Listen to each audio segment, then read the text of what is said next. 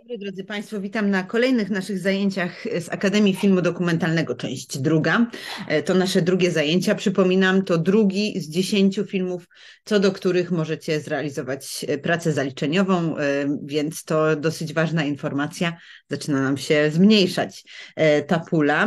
Dziękuję już za pierwsze prace. Fantastycznie. Bardzo się cieszę, że antropocen padł na podatny grunt. E, dziękuję też za miłe słowa, bo e, pojawiły się też i takie. Cieszę się, że e, zareagowaliście na te zajęcia właśnie w taki pozytywny sposób. To dużo mi daje i dodaje energii właśnie do działania w następnych tygodniach. Dzisiaj spotykamy się z bardzo ciekawym, moim zdaniem, filmem. Jest nim film Epicentrum w reżyserii Huberta Saupera. Pewnie część z Was już miała okazję ten film zobaczyć. Część pewnie jeszcze nie, e, więc do boju zachęcam. E, jest to naprawdę niesamowita wyprawa w niesamowite miejsce. No i e, trochę tak jak na poprzednich zajęciach, przyjrzymy się różnego rodzaju kontekstom, mniej lub bardziej filmowym, związanym właśnie z tą opowieścią. Polecę Wam też kilka rzeczy, które będziecie mogli sobie już na własną rękę eksplorować i oglądać, bo jednak po to to wszystko jest, żeby później z tego móc skorzystać. Także mam nadzieję, że również ta wyprawa na Kubę będzie dla Was e, interesującym e, tematem, no bo jesteśmy znowu w kontekście e, filmu dokumentalnego, który ma bardzo określonego bohatera. Tak jak mówiłam na poprzednich zajęciach, to kim albo czym jest bohater filmu dokumentalnego nie musi być aż takie oczywiste, nie musi to być jedna osoba, może to być właściwie kraj. Dlaczego nie? Będziemy e, różne e, tutaj e, wątki związane z tym, jak o bohaterach filmów dokumentalnych opowiadać, pokazywać. Przypominam Wam oczywiście o tym małym dekalogu Jacka Bławuta, no bo też tutaj poznajemy bardzo konkretne osoby, z którymi twórca spędza czas, o których opowiada historię. Warto też zwrócić uwagę na to, jak właściwie ta relacja między nim a bohaterami, przepraszam, a głównie bohaterkami, tak się akurat złożyło, że to e, kobiety są przewodniczkami e, dla Huberta Saupera po samej Kubie. Jest tam oczywiście kilku bohaterów płci męskiej, ale jednak jest to świat w tym kontekście zdominowany przez kobiety, no to będzie jeden e, z, z, takich wątków, które warto tutaj oczywiście poruszyć, ale zacznijmy od tego, jakby nie było naprawdę świetnego plakatu, bo on nam bardzo dużo już pokazuje na temat tego, z jakim filmem właściwie będziemy mieć do czynienia, bo nie tylko flaga, ale również e, ta kamera wystrzeliwująca pociski. E, temat propagandy i tego, jak również kino na nas wpływa, jak opowiadane przez kino historie na nas wpływają, będzie tutaj niezwykle istotny. Także będziemy jeszcze to zaraz y, omawiać i sobie bardziej eksplorować, ale już na tym poziomie tego naprawdę wspaniałego plakatu, który można by sobie powiesić na ścianie, bo jest żywy, kolorowy i taki właśnie bardzo mocny, gdy mowa o przekazie, który nam oferuje, jest, jest takim punktem odniesienia, od którego tutaj warto zacząć. To, co poznajemy, czego dowiadujemy się właściwie na samym początku tej historii, jak dobrze pamiętacie, poza tym, że zostajemy wprowadzeni w świat Kuby, e, o którym też pod względem wizualnym i estetycznym może za moment, to dwa słowa: utopia i od razu, jeśli utopia, to zawsze dystopia. E, tutaj, e, tak jak ostatnio już mówiłam, jednak e, googlanie grafiki mogłoby być moją taką dyscypliną olimpijską. Z czym Wam się kojarzy oczywiście słowo utopia, to, to są te skojarzenia, które przychodzą do Waszych głów. Dla mnie to oczywiście świat kina, świat popkultury, świat wizji niezrealizowanych, świat wizji, które mają porządkować ludzkie życie na wielu poziomach. To są zarówno, tak jak tutaj widzimy na tym kolorowym y, na tej kolorowej ilustracji całkiem po prawej stronie, miasta marzeń, jak i technologiczne utopie, coś, co właśnie ma być wspaniałe, ale może być jednocześnie e, przerażające, a czego rewersem de facto jest dystopia, czyli to niespełnione marzenie o uporządkowanym życiu człowieka w przyszłości, również w przeszłości, bo utopia to nie jest coś, co jest wymysłem współczesnym, ma e, tak długą historię, jak właściwie, nie wiem, grecka filozofia, bo to jednak stamtąd to doskonałe miejsce, czyli Eutopos do nas przychodzi, więc tutaj te, te elementy się ze sobą bardzo mocno zderzają. Zawsze awers i rewers tej monety będą ze sobą bliskie. Oczywiście są jeszcze różnego innego rodzaju topie. Warto pamiętać o takim słowie jak ambitopia, czyli właśnie taka wizja przyszłości, która nie jest ani dystopią, ani utopią, tylko jest gdzieś pomiędzy. Jest bardziej zniuansowana, bardziej ambiwalentna, ma zarówno, e, może zapisać coś po stronie sukcesów, jak i coś po stronie porażek, no ale te słowa towarzyszą nam właśnie um, słowu epicentrum, czyli samemu centrum. Mam wrażenie, że Sauper chce nam pokazać, że między utopią a dystopią leży właściwie e, Kuba. Tam jej szukajcie, e, tam ją znajdziecie. Jest to świat, który niesamowicie jego samego e, jako reżysera przyciąga. Może pokażmy e, samego reżysera. On na chwilę pojawia się w filmie, możecie e, zobaczyć jego twarz właśnie w towarzystwie jego młodych przewodników w jednej ze scen. To jest wybitny austriacki dokumentalista, który realizuje różnego rodzaju filmy opowiadające o procesach globalizacji na świecie, więc ten przypadek Kuby jest dla niego niezwykle fascynujący. No i tutaj na Kubie Kubie spędził e, trzy lata. Mieszkał tam, wykładał tam w szkole filmowej.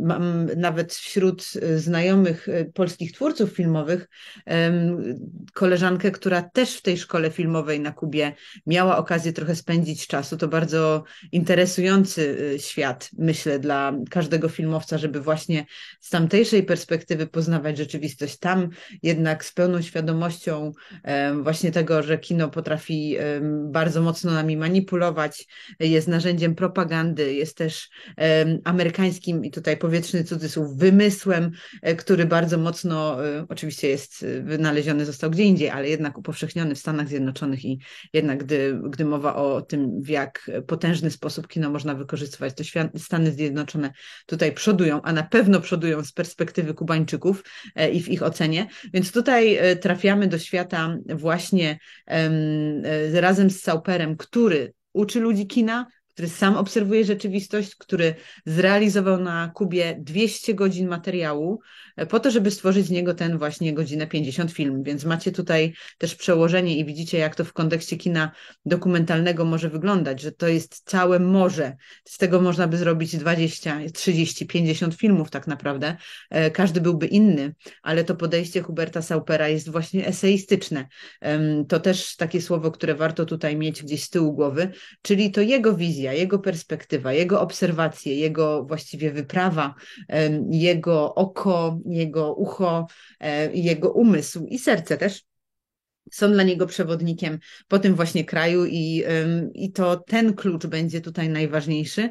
Ważny też będzie klucz, jakim się posługuje, gdy mowa o spotkaniach, bo w wywiadach i, jeden z wywiadów Wam tutaj wkleimy e, później w komentarzu na, na Facebooku, żebyście mogli skorzystać. W wywiadach mówi o tym, że poznał tam naprawdę mnóstwo ludzi, no mieszkał tam kilka lat i tego materiału z bardzo różnymi osobami e, zrealizował całe mnóstwo, ale jednak to właśnie e, te postaci, które poznaje najmocniej zapadły, naj, naj, ciekawiej z jego perspektywy, czy najmocniej opowiedziały o swojej perspektywie i tak, tak ten film właściwie powstał. Także to też warto mieć z tyłu głowy, że to jest zadanie bardzo mocno montażowe, żeby coś takiego jak ten film, z którym mamy do czynienia stworzyć, no bo tak jak mówię, ilość materiału, z którą, do, którą dosta, dostaje, czy tworzy dla siebie reżyser po to, żeby później właśnie z niego wykroić tę opowieść jest absolutnie absolutnie e, gigantyczna. Sam e, Hubert Sauper jest e, nazwijmy to, zaprzyjaźniony z festiwalem Millennium Dogs Against Gravity, odkąd on właściwie istnieje. Jego filmy były pokazywane u nas też, akurat film Jesteśmy Waszymi Przyjaciółmi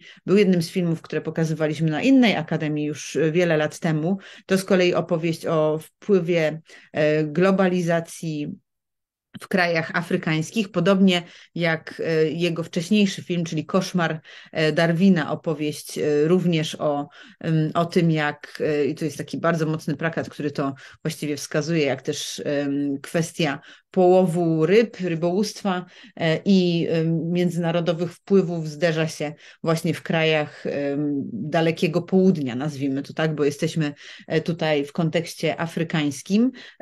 No jednak jego obserwacje są mrożące krew w żyłach. W jednym z wywiadów, który przeprowadził z nim Michał Walkiewicz, też ten wywiad warto sobie zobaczyć, bo akurat poświęcony jest kontekstowi e, filmu Epicentrum. E, podają nawet takie słowa, że koszmar Ja niestety tego filmu do dzisiaj nie widziałam, bardzo żałuję. Mam nadzieję, że będzie na to okazja, może, może jakaś retrospektywa e, kiedyś Huberta Saupera będzie miała miejsce, mm, że jest to film absolutnie mrożący krew w żyłach, że jest to istny dokumentalny horror, który nie pozostawia nas obojętnymi i faktycznie zapada w pamięć. Z filmem Jesteśmy Waszymi Przyjaciółmi tak właśnie było, bo to jest takie, takie ten, ten tytuł szczególnie oryginalny, czyli We Come as Friends, e, kojarzyć się może dosyć mocno e, z różnego rodzaju bratnią pomocą czy wsparciem e, przyjacielskim, które niekoniecznie ma właśnie ostatecznie taki wymiar, bo dychotomia czy, czy rozdźwięk między północą a południem, procesy globalizacji, też kolonizacja, postkolonizacyjne sprawy, te wszystkie tematy, z którymi będący wśród Was studenci e, kierunków takich jak stosunki międzynarodowe czy politologia e, są zapoznani za Pan brat, a cała reszta może e, w propedeutyczny sposób chociażby sięgnąć po książkę Zygmunta Baumana pod tytułem Globalizacja, no to jest ten teren, na którym właściwie Hubert Sauper jako obserwator świata funkcjonował do momentu, kiedy nie wyjechał na Kubę, bo mm, tak jak mówię, ten film pod tytułem Koszmar Darwina e, i jego wcześniejszy, późniejszy film, czyli Jesteśmy waszymi przyjaciółmi, one pokazują brak sprawczości e, przede wszystkim osób będących stamtąd, e, pewną ich niewinność i naiwność, ale też taki właśnie element bezsilności wobec tego, co przynosi świat zachodu. Zupełnie inaczej jest w filmie pod tytułem Epicentrum. Poznajemy bohaterów, którzy którzy są świadomi pewnych procesów, których ich, e, którym ich kraj podlega, co jest imponujące właśnie owe, jak tutaj pada to nawet na, na plakacie epicentrum, małe prorokinie e, przybywające z, z Kuby i maleńcy prorocy e, mają bardzo dużą wiedzę na temat własnej sytuacji e, w kontekście geopolitycznym, co jest dosyć zaskakujące. Jestem ciekawa, czy dzieciaki w tym wieku zapytane w Polsce o właściwie geopolityczną sytuację naszego kraju były w stanie tak pełnymi zdaniami opowiedzieć na temat właściwie wszystkiego, co wydarzyło się w historii ich kraju. No tutaj muszę postawić znak zapytania, nie wiem, nie rozmawiałam z, z młodymi nastolatkami na ten temat. E, może wy macie takie doświadczenia, więc macie na ten temat większą wiedzę. No ale właśnie ten film jednak pokazuje, że owa świadomość, owa, owa, ów spryt e, też i umiejętność przechwytywania pewnych zdobyczy, czy technologicznych, czy kulturowych, to jest coś, z czym e, osoby mieszkające na Kubie żyją za pan brat. Aczkolwiek te procesy libe, e, nie liberalizacji, chciałam powiedzieć globalizacji, to jest coś niesamowicie widocznego, bo nie dalej jak dziś zgooglałam sobie naczelne hasło kubańskiej rewolucji. Jednak pierwsze rzeczy, które wyskakują nam w internecie, to właśnie ten dosyć popularny napój procentowy o nazwie Cuba Libre. Jednak e, ciekawa jestem, czy gdybym googlała e, w inny, pod inną szerokością geograficzną, to e, efekt byłby ten sam. Dopiero po iluś przewinięciach, możecie to sprawdzić również w swoich wyszukiwarkach, wyskakują inne rzeczy niż to, ten napój. Pojawiają się jakieś plakaty, jakieś nawiązania do liderów rewolucji na Kubie, pojawia się Fidel Castro albo Che Guevara, ale pierwszych naście linijek to właśnie drink oparty jednak jakby nie było częściowo na Coca-Coli. Więc to zderzenie tego, co e, kubańskie z tym, co amerykańskie i, i, procesów globalizacji, którym ten kraj podlega, myślę, że w lepszym wydaniu nastąpić by tutaj nie mogło. No i w tym świecie właściwie funkcjonuje, funkcjonuje Hubert Sauper, poznając różne jego e, wymiary. Padają tutaj wprost zadawane bohaterom pytania, czym jest utopia, czym jest dystopia. Oni odpowiadają, odnosząc się oczywiście do kubańskiego położenia na mapie, do kubańskiej historii i też do jakiejś takiej swojej filozofii życia, która mm, dosyć mocno tutaj z każdego z każdej sceny i z każdego kadru e, się przewija, że tak powiem. Tutaj jeszcze macie zdjęcie właśnie głównych bohaterów i Huberta Saupera, e, z, którym on, z którymi on właśnie e, tutaj współpracuje. Bardzo dużo opowiada o tych bardzo młodych ludziach w wywiadach. Ta przyjaźń i ta relacja, która się tutaj rodzi, jest jednak fascynująca i pewna otwartość, którą widzimy w tych młodych bohaterach, jest tylko i wyłącznie dowodem poczucia bezpieczeństwa w tej właśnie sytuacji filmowej. Niekoniecznie każdy kadr z tego filmu wskazywałby na to, taką samą drogę i podejście obserwatorów codziennego życia na Kubie do e, właśnie tych, którzy w tym kraju po prostu mieszkają, którzy w nim żyją.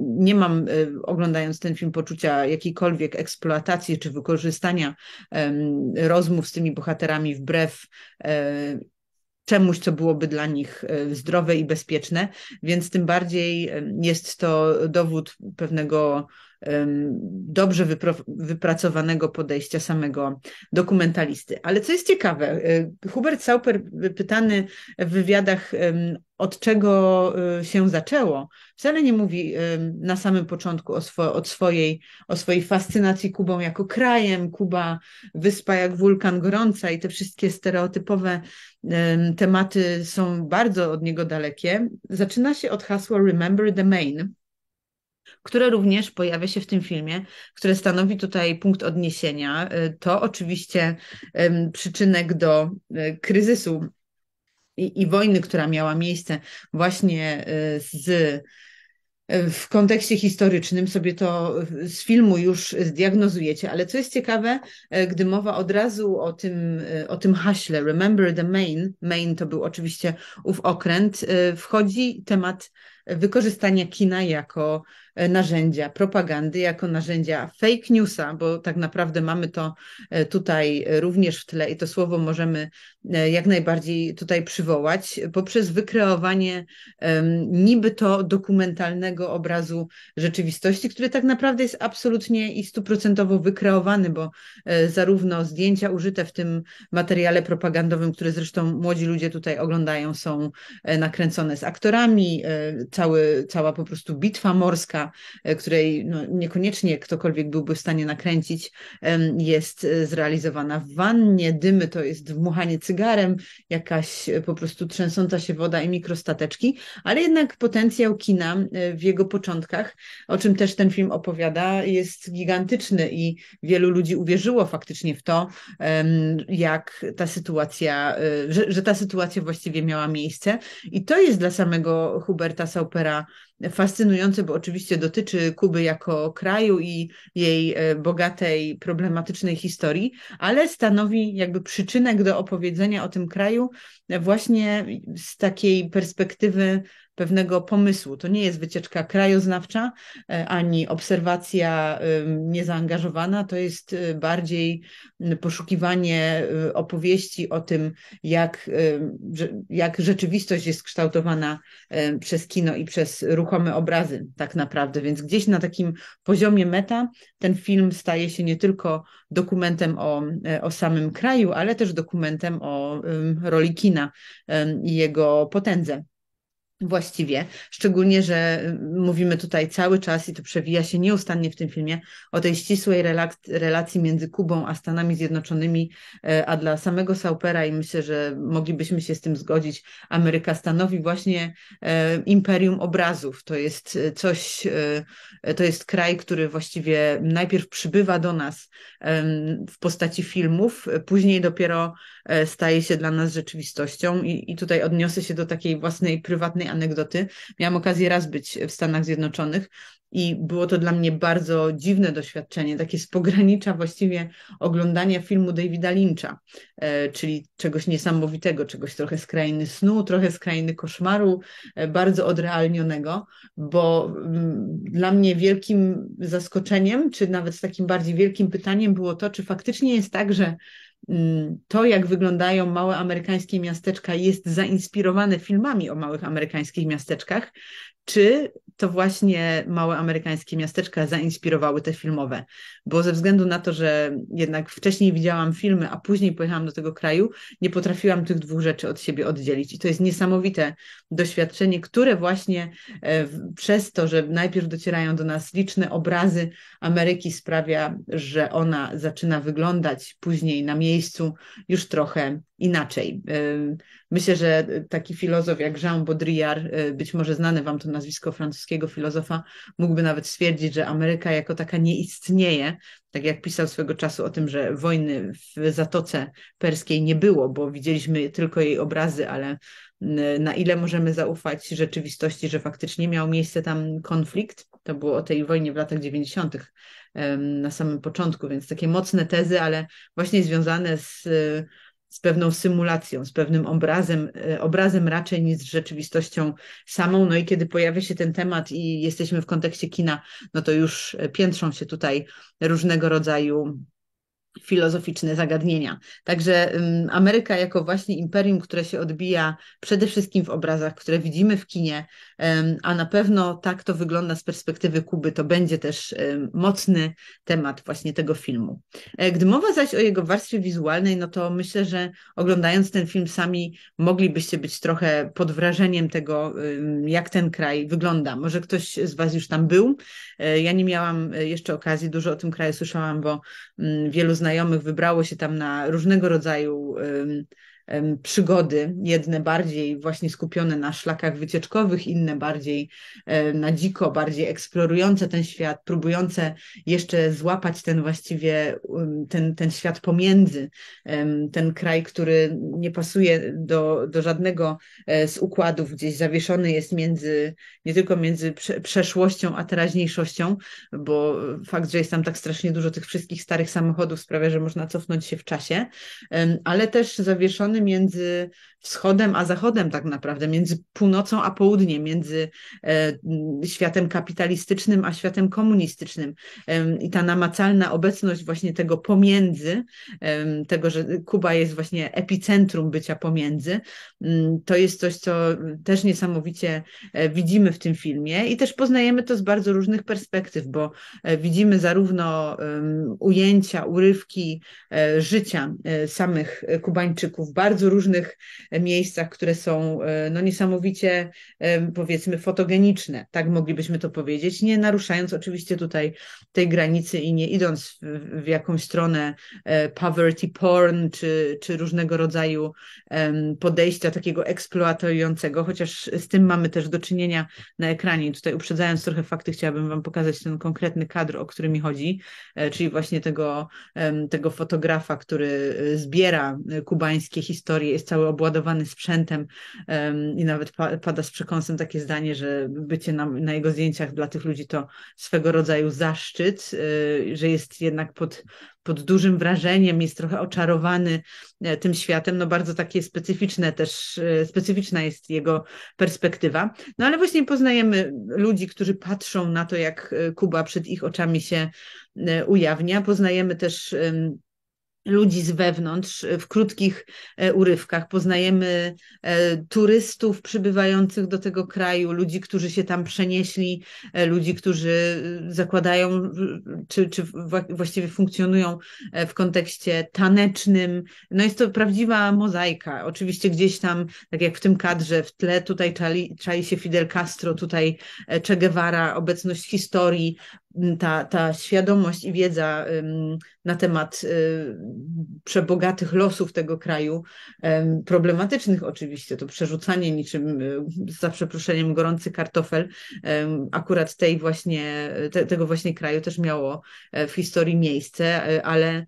niesamowite jest to e, i robi to wrażenie, jak obecny jest dyskurs polityczny w życiu codziennym. Nie mówię, że gdyby ktoś robił taki film o Polsce, to nie znalazłby tylu chętnych do wypowiedzenia się na tematy polityczne. Pewnie tak by było, e, bo jednak żyjemy tym na co dzień, i, ale mam wrażenie, że jednak mamy trochę większy dystans i trochę może mniejszą e, świadomość tak, tak na co dzień. Nie wiem, może ktoś się ze mną nie zgodzić. Trudno, żeby teraz ktoś podniósł rękę i powiedział, wcale tak nie jest, bo jednak to jest nadawanie jednostronne, ale myślę, że tego rodzaju przemyślenia e, też w różne strony wa wami mogą kierować.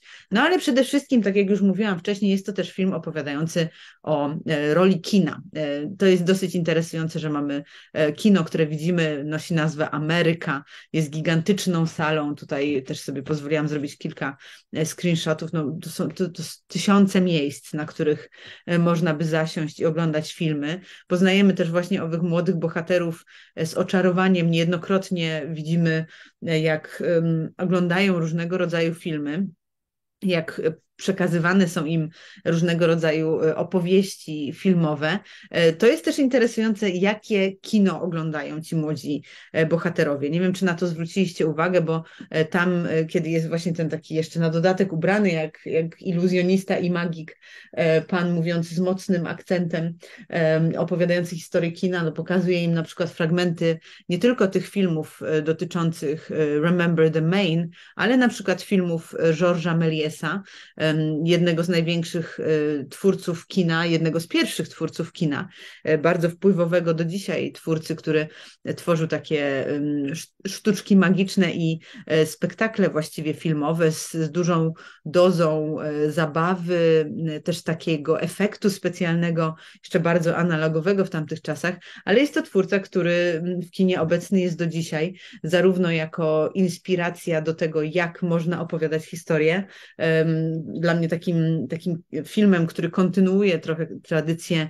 E, kinematografii e, Georgesa Mélièsa, czyli właśnie tej magii kina, niekoniecznie opowiadania historii, ale też takiego oczarowania i takiego skupienia się na pewnej efektowności czy atrakcyjności wizualnej, na pewno byłby film Mad Max na drodze gniewu e, George'a Millera. Georges Méliès, George Miller, jakoś to tutaj ładnie ze sobą też wchodzi w dialog, czyli film, który no, scenariusz można napisać w trzech zdaniach de facto, ale liczy się właśnie efektowność, liczą się sceny, liczą się zabawy formą. No ale też chociażby Martin Scorsese, który jest jednym z tych reżyserów, dla których historia kina jest niesamowicie ważnym e, elementem też w jego działalności. On przecież dba o to, żeby kopie filmowe były zachowywane, zajmuje się e, odrestaurowywaniem kopii filmowych i przywracaniem arcydzieł zapomnianych pamięci. E, co jest ciekawe, wśród filmów, o które dba Martin Scorsese, są też arcydzieła polskiego kina, takie jak chociażby rękopis znaleziony w Saragossie e, Wojciecha Hasa, więc bardzo pieczołowicie jest też historykiem i archiwistą kina. Sam stworzył film Hugo i jego wynalazek, w którym właśnie jeden z bohaterów, Ben Kingsley, aktor Ben Kingsley, wciela się postać bardzo mocno inspirowaną samym Georgesem Mélièsem i chodzi właśnie o e, uratowanie, ocalenie e, czy kontynuowanie pewne, pewnego magicznego elementu związanego z twórczością e, filmową. Także Georges Méliès jako jeden z tych twórców, których filmy oglądają ci młodzi bohaterowie, cofając się de facto do samych początków kina, to jest bardzo interesujący wybór. Innym jest oczywiście Charlie Chaplin. Te dzieciaki oglądają tam poczynania Chaplina w filmie Dyktator, co też jest niesamowicie naładowane wielo, wieloma sensami. Jesteśmy jednak na Kubie, gdzie postacie dyktatorów są dosyć mocnym e, tematem, gdy mowa o historii tego kraju, a tutaj Charlie Chaplin jako dyktator. I żeby jeszcze tego było mało, e, w wielu scenach tutaj, w tej scenie takiej niemalże telenowelowej, ale również drugiej części filmu na ekranie nieustannie pojawia się właśnie ta postać, którą widzicie po lewej stronie. Nie wiem, jak tam u Was z rozpoznawaniem aktorów z dużej odległości albo właśnie bez makijażu i bez stylizacji, ale to jest ona Chaplin, czyli wnuczka Charlie'ego Chaplina, wychowana zresztą na Kubie. Jasne dla nas jest to, że kochająca zdecydowanie ten kraj, jest to kraj bliski jej sercu i też ta przyjaźń z Hubertem Sauperem jasno tego e, tutaj dowodzi. Też to, że e, zapytana w ostatnich scenach tego filmu, gdzie właściwie jesteśmy, mówi, że jesteśmy w raju, no też w kontekście tych dyskusji o utopii i dystopii taki przekaz, jako przekaz zwieńczający de facto tę, tę historię, która jest trochę peanem na cześć tego kraju, ale też na cześć kina i wygłasza to właśnie aktorka, której dziadek jest jednym z najważniejszych twórców e, filmowych w historii. To jest jednak moc i potęga. Więc tutaj takie smaczki w tym filmie e, też znajdziecie. Opowiadam o nich trochę, bo to może nie być czytelne na pierwszy rzut oka, a wydaje mi się, że w, w kontekście interpretacji tego filmu, czyli tego, że jest to opowieść nie tylko o kraju i o ludziach, ale też o samym kinie, warto, żeby to wybrzmiało, bo właśnie ten element pokazywania, obserwowania, też tworzenia obrazów będzie tutaj jednym z najważniejszych wątków. Jednak, tak jak mówiłam, jest to trochę esej filmowy, a nie tylko dokument obserwacyjny, czy właśnie e, film ukazujący losy bohaterów i ich kraju, czy, czy taką, taki krajobraz czy perspektywę właśnie na, na samą Kubę, ale też opowiada o sile obrazów, jakby nie było. I widzimy poza tą sceną, chociażby z, z fotografem, o którym mówiłam, też y, sytuacje, w których um, dzieciaki przejmują te technologie na własny użytek, tworzą różnego rodzaju obrazy, um, obrazy filmowe, obrazy w postaci zdjęć, więc gdzieś y, to.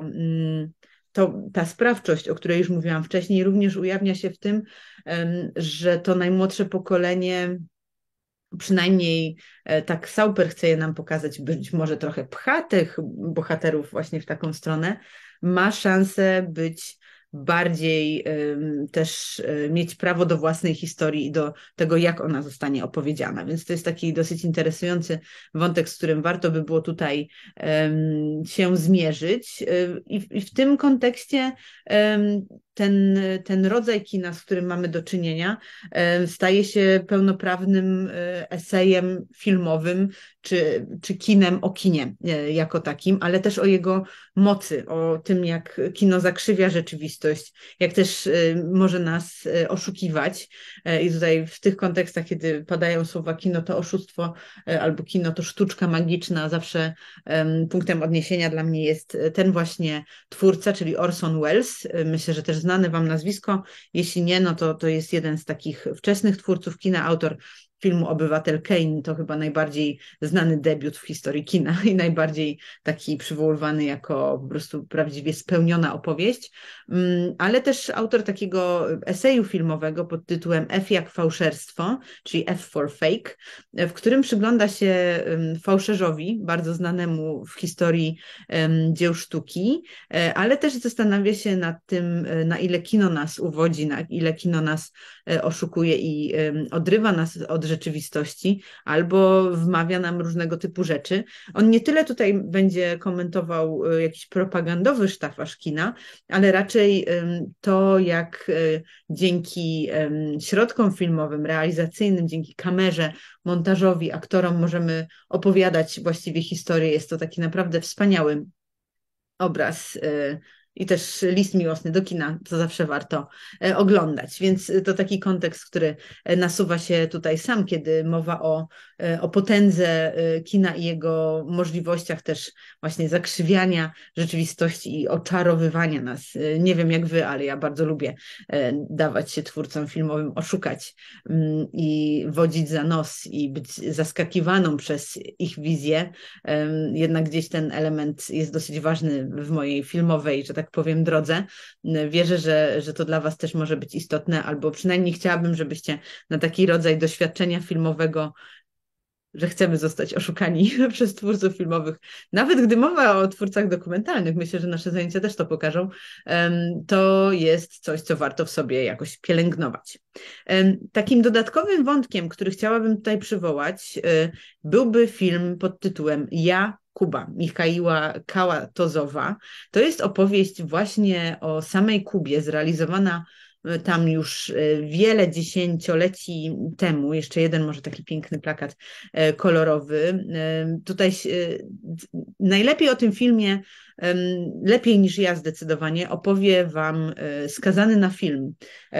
Przywoływać go będę w różnych kontekstach na naszych zajęciach, bo uważam, że to, co robi dla takich esejów internetowych e, w postaci wideo, ten właśnie twórca jest naprawdę imponujące.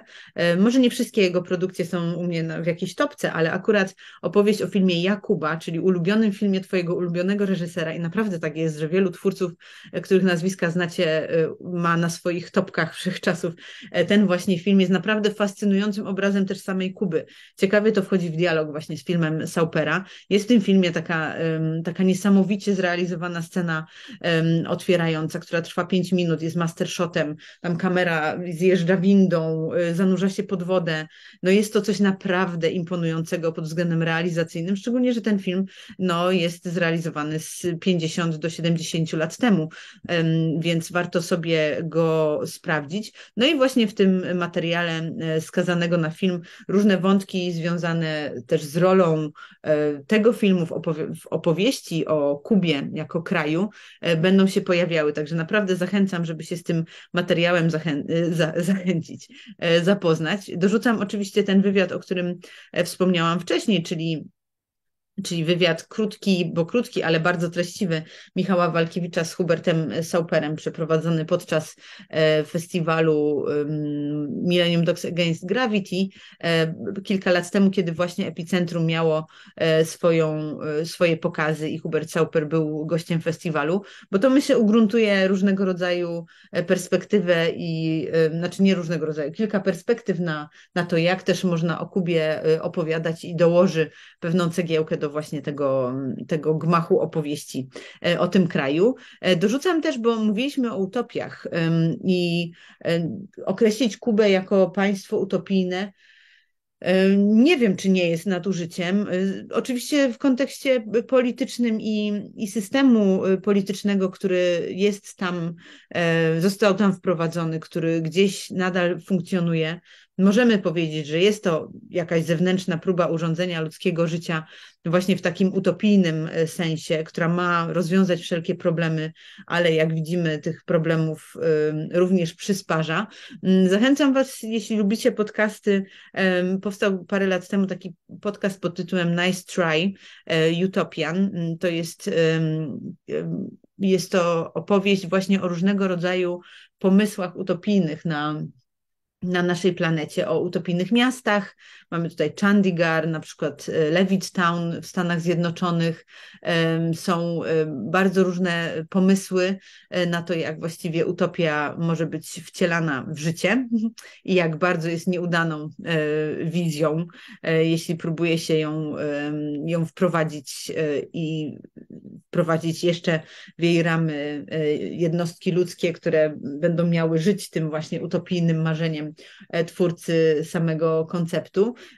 Krótkie odcinki, ale naprawdę bardzo treściwe, świetnie się tego słucha, więc jeśli nie znacie tego podcastu, to naprawdę zachęcam. O Kubie akurat mowy tutaj nie ma, ale są też utopie związane z perspektywą polityczną, e, czyli taką właśnie systemową bardziej, jak w przypadku systemu politycznego, e, z którym tutaj mamy e, do czynienia. Dorzucę jeszcze jeden wątek, a to ze względu na to, że jednak mówimy tutaj dużo o kinie i o tym, w jaki sposób ono na nas e, działa. Oczywiście też sama Kuba jako przestrzeń wydaje się takim trochę odrealnionym miejscem. Widzicie te mm, kolorowe samochody, wielkie hotele, też przelewającą się przez, przez to nabrzeże wodę, która nieustannie podtapia ten, to, to jakby nie było centralne miasto, jakim jest e, Hawana. Właśnie te bardzo dziwne obrazy, e, które mocno na nas wpływają, one też e, sprawiają, że mamy wrażenie bycia w trochę innym świecie. Może sama architektura tego miasta czy, czy tego miejsca nie, nie wpływa na nas w taki sposób, jak może wpływać architektura odzwierciedlająca jakąś myśl utopijną, ale jednak ten wątek, jako że jesteśmy w kontekście utopii, warto e, przywołać. Mowa o, o takich wizjach bardziej już ze świata architektury, które właśnie z perspektywy akurat e, w przypadku tego twórcy, jakim jest Bjarke Ingels, to taki duński architekt, który właśnie chce, trochę wcielać sny w życie i, i, budować takie, takie chociażby konstrukcje, jak te, które widzicie na ekranie, różnego rodzaju budynki, które mają być przyjazne, które mają być zielone, które też wyglądają trochę jak architektura niemożliwa. Właśnie mają taki, taki zamysł i gdzieś perspektywę utopijną w tle, ale część z nich już powstała w, chociażby w Kopenhadze e, mamy realizację tego, tego architekta w różnych innych miejscach też. E, jednak jest to też coś, co może nas transportować do trochę innego świata, do, do trochę innej rzeczywistości. E, więc gdzieś tutaj ten wątek mi się z tym kojarzy. Szczególnie, że tak jak mówiłam, ten podcast mocno opowiada o, o miastach, o tym, jak właściwie można próbować urządzać ludzkie życie i jak niekoniecznie te pomysły wypalają. Takim koronnym przykładem e, próby zagospodarowania przestrzeni urbanistycznej po to, żeby ludziom żyło się wspaniale, e, jest, jest osiedle Pruitt I Go e, w St. Louis, które powstało jeśli dobrze pamiętam, w latach 50. E, zostały wyburzone e, tamtejsze dzielnice nędzy i przetransportowano później osoby, które w nich mieszkały właśnie do tych pięknych nowych bloków. Okazało się, że e, tutaj jeszcze sam projektant Minoru Yamasaki, japoński architekt właśnie z wizją tego osiedla, po niedługim czasie, po 10 latach okazało się, że to miejsce nie nadaje się w ogóle do życia, do funkcjonowania i że trzeba je wyburzyć i faktycznie wysadzono wszystkie te bloki w powietrze, bo było to miejsce targane przestępczością i takie po prostu, do którego ludzie się bali raczej zapuszczać. Nikt tam nie chciał mieszkać. Więc dosyć jednak taki mocny wątek, gdy mowa o Mm, próbie urządzania ludzkiego życia poprzez architekturę. No też takim przykładem miasta i też kraju, w którym dosyć mocno to, y, to działa jest Brazylia ze stolicą Brazylią zaprojektowaną właśnie przez e, Oskara Niemeyera jako takie idealne miasto e, podzielone na różnego rodzaju sfery funkcjonalności, które ma być e, przyjazne do życia. Okazuje się, że jest bardzo trudno w nim funkcjonować i też te budynki użyteczności publicznej które są perłami architektury modernistycznej, stają się obiektem ataków nieustająco podczas niekończących się w tamtym e, kraju protestów. Więc takich przykładów jest bardzo wiele. Mm, zachęcam Was też właśnie do, do śledzenia różnego rodzaju wątków utopijnych czy dystopijnych e, w kinie e, i w serialu, bo jednak tego jest bardzo dużo wokół Was i wokół nas. Możemy sobie analizować te rzeczy, możemy też sięgać po takie, takie klucze, gdy mowa również o samym kinie dokumentalnym, tak jak podsuwa nam to e, Hubert Sauper. E, mam też dla Was pytanie tutaj na, na koniec naszych zajęć. Mam nadzieję, że będzie inspirujące. Będę się starała, żeby te pytania były właśnie takie otwarte, żeby skłaniały Was do własnych jakichś kreatywnych e, przemyśleń, żebyście mogli się trochę wyszaleć realizacyjnie. E, tak jak mówiłam, tam możecie sobie sprawdzić, jakie, jakie prace już powstały w ramach naszych zajęć i sobie poszukać inspiracji również w gotowych pracach.